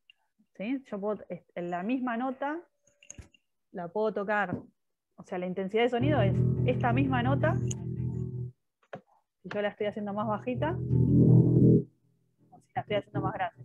Esta es la intensidad. La frecuencia es lo que yo toco con la cuerda. ¿sí? Y la longitud de onda que está asociada con eso. Entonces, no solamente que el león tiene una, una, intensidad fuerte, la garganta o sea, ruge fuerte, sino que su frecuencia es muy baja, longitud de onda es larga, muy larga. ¿sí? Y esos sonidos eh, se transmiten mucho mejor por la tierra, o sea, se transmiten al ras de la tierra mucho mejor que los agudos. Los agudos es como que se, se atenúan rápido. Hay toda una complejidad de sonido, no son eh, totalmente independientes la, amplitud con la frecuencia, pero bueno, a términos matemáticos sí, son completamente independientes. Eh, bueno, este nivel de intensidad, nosotros como tenemos este rango de frecuencias que es gigante, fíjense que acá el mínimo es de 10 a la menos 12 watts sobre metro cuadrado, y el umbral de dolor es 1 watt sobre metro cuadrado, hay 12 órdenes de magnitud, o sea, 1, 10, 100, 1000, así hasta 10 eh, a la 12, ¿sí? a 10 a la menos 12. Entonces eh, se, usa una escala logarítmica. ¿Ustedes alguna vez escucharon hablar de, decibeles? Bajame los decibeles, ¿nunca les dijeron? Sí, sí, sí. No sé qué significa, pero sí he escuchado hablar. Bueno, lo que le están diciendo es que bajes la intensidad de sonido, que bajes el volumen. ¿sí? Básicamente es una manera fancy de decir bajame el volumen. Em, y esta escala logarítmica entonces me permite no escribir por 10 a la menos 12, bla, bla, bla, sino que yo directamente digo un decibel, dos decibel y tres decibeles. Yo tenía un profesor de comunicaciones, nosotros cuando uno ve antenas, y, comunicaciones siempre está hablando del rendimiento de la antena y se, se miden decibeles, ¿no? porque el decibel no es otra cosa que, fíjense que es watts sobre metro cuadrado, así que tiene que ver con la potencia. Eh, y nos decía, chicos, un decibel, un decibel es un montón, la gente mata por un dB. O sea, como que una antena gane un decibel más es un montonazo, porque lo que estamos diciendo es que la intensidad eh, que yo estoy queriendo y la que yo tenía son 10 veces más. O sea, un decibel son 10 veces más, dos decibeles son 100 veces más. Si yo tengo, eh, por ejemplo, me quiero comunicar por radio y tengo una radio que tiene una, antenita así, ¿no? Y me quiero comunicar y no llego, y esa misma radio la conecto a una antena de 3, de 3 decibeles, o sea, una antena que está en el techo, que tiene todo un diseño, esa misma radio va a multiplicar con esos 3 decibeles mil veces su potencia, ¿sí? O sea, va a llegar, no sé si tanto más lejos, pero va a llegar muchísimo más lejos que con la, antenita chiquitita con la que viene. Bueno, y entramos a efecto Doppler. Efecto Doppler, todo el mundo lo conoce. ¿Quién no lo conoce? ¿Alguna vez escucharon una ambulancia pasar? Sí. ¿Saben de qué hablo? Son la forma en la que las ondas de sonido llegan a, a una determinada persona. Sí, básicamente lo que estamos hablando es de... Lo que estamos diciendo es cuando una fuente sonora y un receptor entre sí tienen movimiento, ¿sí? algo que está generando sonido, por ejemplo una ambulancia o un, camión de bomberos, y la persona que está escuchando decía... Igual también tengo entendido que el efecto Doppler no solamente se aplica a las ondas de sonido, sino a todas las ondas en general. Sí, señor, sí, señor. ¿Y en qué en particular? Por ejemplo, es que así, por ejemplo, es que así sabemos que el universo se expande, viendo que las galaxias tienen el rojo. Bien, tal cual, tal cual. Bueno, es buenísima la, anticipación de eso. En primera instancia, descubrir que el universo tiene fin, para mí fue un flash, ¿no? Que en algún lugar se termina. El universo es como, oh, ¿qué fue esto? Y en segundo lugar, descubrir que además se está expandiendo por una cuestión de medición del efecto Doppler de las estrellas fue como más flash aún. O sea, sabes que tiene límite y que además se está expandiendo, es como, wow, es genial. Lo que habla el efecto Doppler es que cuando esta fuente sonora se está acercando, por ejemplo, al, receptor, se van a comprimir las longitudes de onda. Estos, estas ondas de sonido, como que el emisor está, está emitiendo ese sonido y se está desplazando, es como si se comprimieran las longitudes de onda. Y al revés, como se está desplazando para el otro lado, como si se estiraran del otro lado. Em, entonces voy a escuchar la ambulancia cuando viene, la voy a escuchar más aguda o más grave. ¿Qué piensan? ¿O qué, recuerdan? Y más aguda. O sea, cambia, cuando pasa por mí, cambia. ¿sí? Cuando venía para acá es más aguda, tiene una frecuencia más alta, y cuando se está yendo, baja la frecuencia. ¿sí? ¿Por qué? Porque la longitud de onda es mayor. Entonces, bueno, ¿cómo podemos medir esto? Porque yo lo que quiero saber ahora es, si yo tengo una fuente móvil, quiero saber si la frecuencia que yo estoy escuchando, de qué manera se corresponde con la frecuencia que está emitiendo en la fuente, ¿no es cierto? Entonces, una manera de, descubrir esto es analizando de qué manera cambian esas longitudes de onda. Lo que hago es decir que como hay dos velocidades, la velocidad del sonido, que bueno, vamos a suponer que es constante, que no va a cambiar el medio, que está todo en el aire, y están las dos velocidades, la velocidad del observador y la velocidad de la fuente. Entonces yo tengo que saber de qué manera se está moviendo el observador y qué manera se está moviendo la fuente para saber qué frecuencia voy a escuchar respecto de la frecuencia de la fuente. Esta F0 es la que escucha el observador, o FO, y esta FS es la frecuencia de la fuente. Acá está puesta como S por source, porque si no quedaba FF, ¿viste? Bueno. Eh, entonces, S sería la fuente. Entonces, las velocidades que están acá, que son velocidades en módulo, se calculan como positivas para el acercamiento y negativas para el alejamiento. Esto lo van a ver mejor en, la práctica con un ejemplo, ¿sí? pero de todas maneras, yo quisiera que razonemos esto. Yo tengo una, imagínense que este autito rojo que está acá es la fuente, o sea, este es el emisor, está emitiendo acá sonido que se está propagando para todos lados. ¿sí? Se está moviendo, esta velocidad que tiene es una velocidad que es hacia allá, es un ejemplo, puede ser para el otro lado, pero en este ejemplo lo tomamos para acá. Y yo tengo cuatro posibilidades. Puedo tener un autito que se está moviendo hacia la fuente, pero que está en la misma dirección de la velocidad. Puede ser un autito que se está moviendo fuera de la, hacia afuera de la fuente, contraria a la velocidad. O puedo tener un autito que va hacia la fuente, pero enfrentándose la velocidad de la fuente, y otro que va también en el mismo sentido, pero alejándose de la fuente. Todas estas variantes están contempladas en FA, FB, FC y FD. ¿sí? Hay dos maneras de entender efecto Doppler. Si ustedes están cansados, este es el momento donde respiran hondo, o si están viendo en video, pausan, se van a tomar una Coca-Cola y vuelven. Hay dos maneras de entender efecto Doppler. Una es pensar, ¿cómo debería dar? ¿Sí? Entonces yo sé que si yo tengo una fuente, uy, me quedé con la flecha. Si yo tengo una fuente que está emitiendo y que se está moviendo para allá, por lo tanto, va a estar comprimiendo de este lado y expandiéndose de este lado, y yo soy el observador que está acá, puedo pensar, ah, como se está acercando a mí, tiene que comprimir sus eh, eh, sus longitudes de onda y por lo tanto la frecuencia va a ser más alta. ¿sí? Ahora, la complicación que tiene Doppler es que este muchacho que está escuchando no solamente está ahí, sino que se puede estar moviendo o para acá o para el otro lado. ¿sí? Entonces yo lo que tengo que pensar es, si yo me muevo en el sentido rosa, ¿voy a comprimir más las ondas o las voy a estar expandiendo con mi movimiento? Estoy hablando de la fuente en color bordeaux y del autito que está moviendo con velocidad rosa. ¿Cómo va a ser? ¿Más comprimidas o menos comprimidas las ondas? De vuelta, profe, de vuelta. esto ya se sabe que la fuente para el lado que va comprime las ondas. Ahora yo estoy viendo esta persona que se está moviendo para allá, ¿sí? en el sentido rosa de la flecha. ¿Va a encontrar las ondas más comprimidas todavía o las va a encontrar más espaciadas, yendo en esa dirección? Más comprimidas más comprimida. ¿sí? Entonces, ¿qué me tendría que dar la frecuencia? La frecuencia que escucha el observador. ¿Cómo debería ser respecto de la frecuencia que escucha, uy, toqué cualquier cosa, que escucha de la fuente? Sabemos que va a ser mayor, ¿sí? Pero en este caso va a ser mucho mayor. ¿Qué puedo hacer yo para una frecuencia que sea mucho mayor?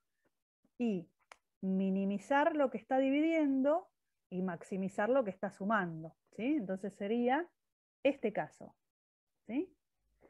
Minimizar eh, lo que está dividiendo para que sea eh, grande y maximizar lo que está multiplicando para que sea grande. Una frecuencia muy alta. ¿sí? Cuando yo comprimo las longitudes de onda, las longitudes de onda son cada vez más chiquititas, la frecuencia es muy alta. ¿Está bien?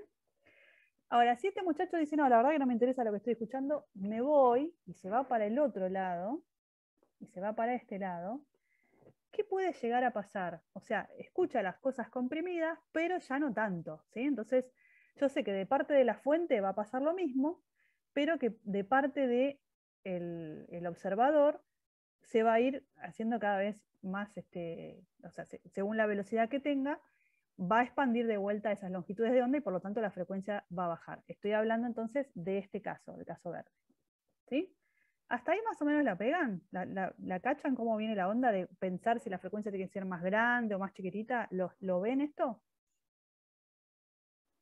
Sí, yo lo veo, por ejemplo, profe, cuando con, con, un, con, un, mismo ejemplo como este es en la calle que pasa un auto escuchando música, que cuando está viniendo hacia mí, como que lo escucho fuerte, digamos, o cada vez más fuerte, y cuando se va y cada vez cuando pasa y se va alejando, es como que el sonido como que se alarga más, o no sé cómo decirlo, no sé cómo explicarlo, pero como que se va perdiendo. Claro, se hace más grave y más lento. Mm. Cuando hablamos de frecuencia baja, intenso. hablamos de, de grave, ¿sí? Un bajo, por ejemplo, tiene una frecuencia grave. El La 440 está en el bajo, pero hay otro La que es el 220. Y si hablamos de una frecuencia alta, estamos hablando de algo agudo. ¿Sí? Entonces, bueno, digo, esta es la primera manera de entender Doppler. Esta manera, ¿la entienden o no la entienden? Porque a mí esta manera en particular me cuesta un montón y no la uso.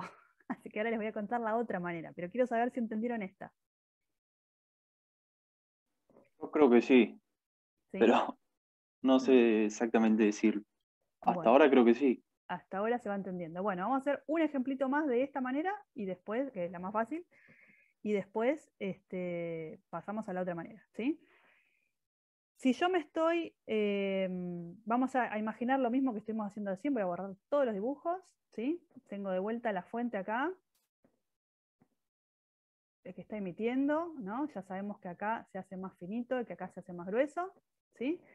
Pero ahora lo que voy a tener, esta fuente va para allá, lo que voy a tener es mi móvil, vamos a suponer que mi móvil es este de acá, está del lado como que la fuente se está yendo, ¿sí? Entonces yo ya sé que, como había dibujado antes, acá me queda comprimidito, pero acá me queda como más grande, ¿sí? Ya al decir que la, que la fuente, la longitud de onda me va a quedar más grande, estoy diciendo que la frecuencia baja. Entonces voy a estar en estos dos casos, ¿sí? donde la frecuencia va a bajar porque le tengo que sumar la velocidad de la fuente. Ahora, si yo voy hacia la fuente, si yo me muevo hacia adelante, si yo voy hacia allá, persiguiendo la fuente, voy a encontrarme con más rayitas o con menos rayitas que si voy para el otro lado, que yendo para allá. Con más. Con más rayitas. Por lo tanto, si tengo más longitudes de onda que me encuentro, tengo menor frecuencia. ¿sí? Eh, a ver si dije bien. Mayor frecuencia, mayor frecuencia. Entonces voy a estar en este caso. ¿sí? Perdón, este sería el caso verde. ¿sí? Cuando me acerco a la fuente, me encuentro con más rayitas y la frecuencia aumenta, porque estoy acá aumentando esto. Por el contrario, si voy para el otro lado, si estoy yendo para allá, me voy a encontrar con menos rayitas, o sea, voy a tener menor frecuencia, esto queda restando, ¿sí? la frecuencia baja. Bueno, mí esta manera me resulta muy difícil de entender porque tengo que pensar si se aleja, si se acerca, si bla, bla, bla.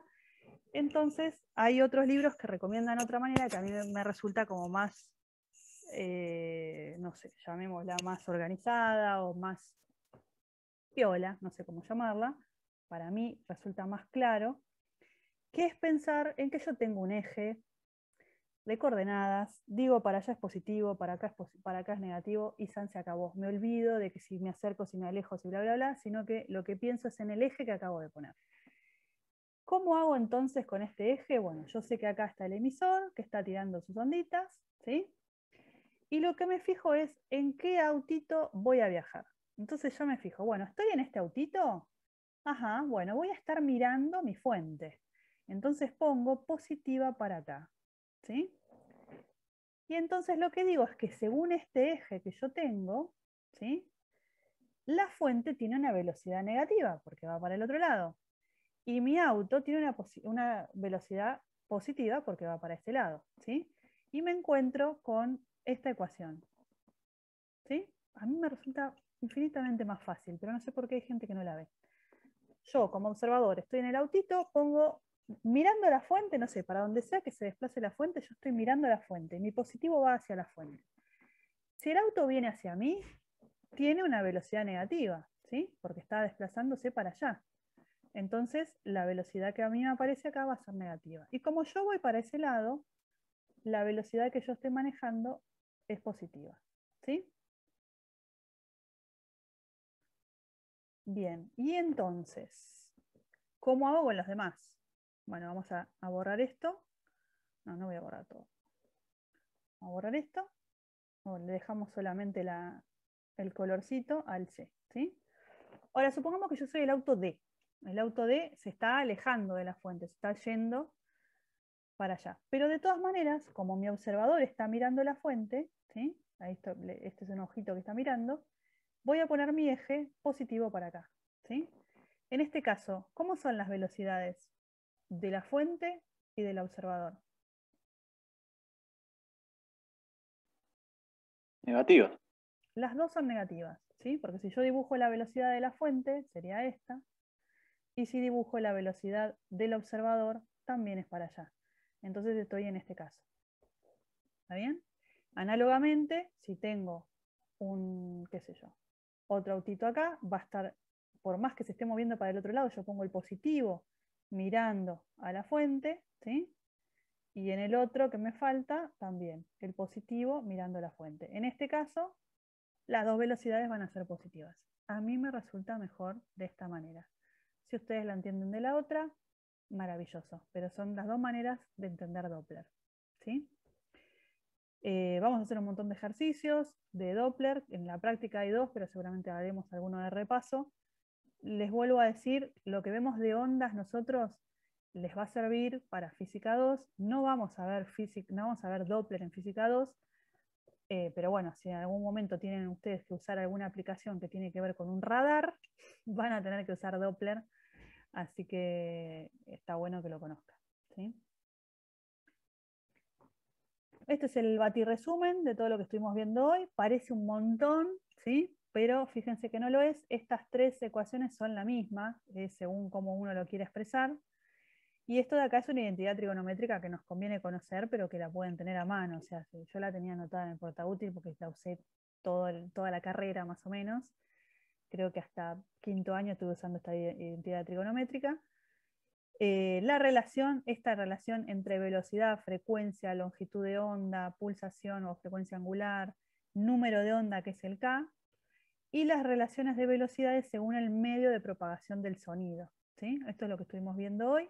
Esta es la solución general, la que está arriba, es la solución general a toda la ecuación de ondas, pero nosotros la que vamos a estar viendo no vamos a ponernos a resolver ecuaciones diferenciales, sino que vamos a estar usando siempre esta. Y les digo más, este lo vamos a barrer abajo de la alfombra, no vamos a usar nunca la fase. ¿sí? Hay un montón de aplicaciones de comunicaciones que usan la transmisión por diferencia de fase, así que no es que no sirva para nada, pero nosotros no vamos a meternos en ese berenjenal, vamos a hacer solamente esto. Así que acuérdense entonces de esta ecuación, de la relación entre parámetros de las ondas, ¿sí? el número de onda K con lambda, eh, y bueno, y esto no me lo acuerdo ni yo, chicos, es como para que lo sepan, para que lo tengan a mano, pero yo no me acuerdo de memoria que la velocidad en un sólido es el módulo Young dividido el ρ, la raíz cuadrada, ¿sí? Eh, lo, que no, lo que no nos podemos olvidar es la forma de onda que tiene cualquier onda que, ya sea de, de sonido o de lo demás. Y bueno, lo que nos está faltando acá son, están acá las ondas estacionarias, bien, acá donde aparece un seno y un coseno, ¿sí? Recuerden que esto puede ser seno, seno, coseno, coseno, coseno, seno. Acá vuelvo a poner lo mismo y la, perdón, la, bueno, la relación entre frecuencias y cuerda fija, y cuerda, y cuerda fija, para tubo cerrado, para tubo abierto, bla, bla, y las intensidades de sonido. Y Doppler con las salvedades que dijimos, ¿no? Es más menos y más menos. Esto es todo por hoy. Los dejo tranquis que puedan descansar un poquito y después, no sé qué hora es. Ah, estamos bárbaros. bueno, hoy me atrasé un poquito, pero nada, esta clase porque me copa mucho y me gusta hablar del tema. pero en general eh, es, un, es un tema como para darle muchísima más bola y está comprimido dentro de la materia y bueno, lamentablemente doy la clase muy corriendo.